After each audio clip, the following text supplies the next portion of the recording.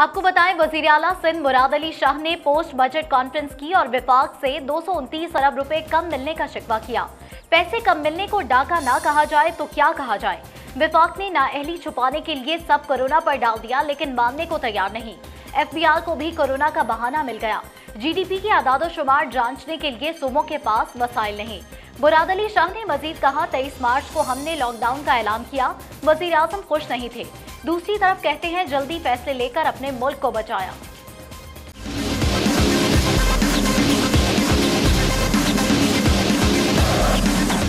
NCC की जो हमारी मीटिंग होती है, हर मीटिंग के मिनट्स लेके आया हूँ कि जो बातें मैंने मानी है। मेरे पास हर मीटिंग का प्रूफ मौजूद है कि क्या मेरी डिमांड रही है। इमरान खान तो पहले दिन से कह रहे हैं कि लॉकडाउन नहीं होना चाहिए, सब मर जाएँगे। लेकिन उसने भी तो लॉकडाउन माने हैं ना सारे। कल ये इल्ज़ाम लगा कि मुराद अली शाह ने लॉकडाउन किया, बाकी सूबों ने मेरे से पूछे बगैर कर दिया।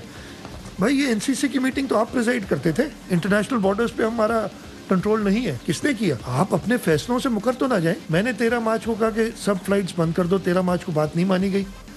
सत्रह मार्च को फैसला आया। मैंने तो नहीं किया ना आपने बड़ी आसानी से मुराद अली शाह और बाकी चीफ मिनिस्टर्स पे इल्ज़ाम डाल दिया। ये फैसला कौन से चीफ मिनिस्टर ने किया? तेईस मार्च से हमने लॉकडाउन का ऐलान किया। वज़ीर आज़म उस ऐलान से खुश नहीं थे, आज तक कह रहे हैं। एक तरफ़ खुश नहीं भी है और दूसरी तरफ़ ये भी कहते हैं कि हमने जल्दी फैसले लेके और अपने मुल्क को बचाया। वज़ीर आज़म की हैसियत से राय, उसका मैं पाबंद नहीं हूँ। जो फैसला आप करते हैं, उसका मैं पाबंद हूँ। टोटल हमें कहा गया है कि आपको 606 अरब रुपए मिलेंगे फेडरल गवर्नमेंट से इस साल, जो कि आठ सौ पैंतीस अरब थे यानी दो सौ उनतीस अरब रुपए। मैं इसको दो सौ उनतीस अरब रुपए का डाका नहीं कहूँ तो क्या कहूँ?